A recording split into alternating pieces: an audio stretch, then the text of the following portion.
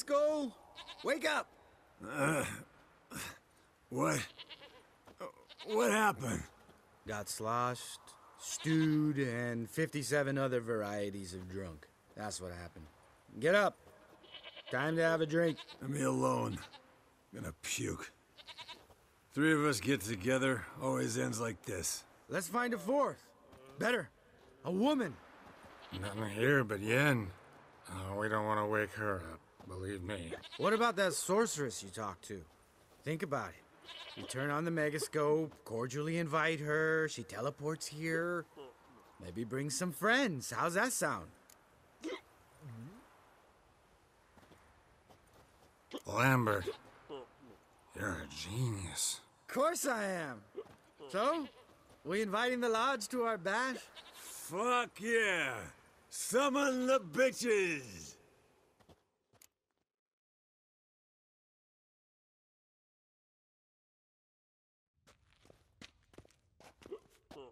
All right.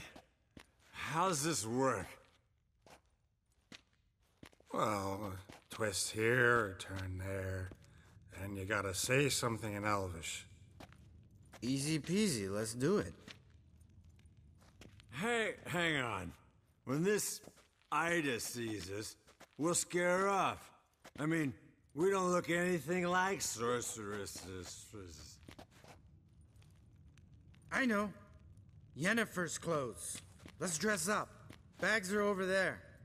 What's this thing you got for dressing up? Shut it, wise ass, or I'll lace your corset up so tight you'll shit in your bloomers.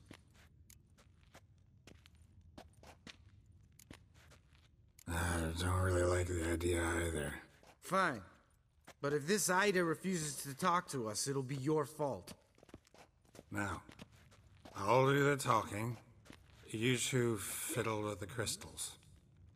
Camille blood de doigt. Hocus pocus abracadabra splather.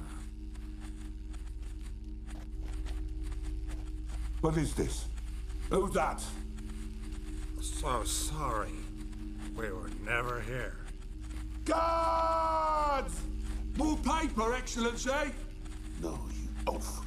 Witches! Witches attacking!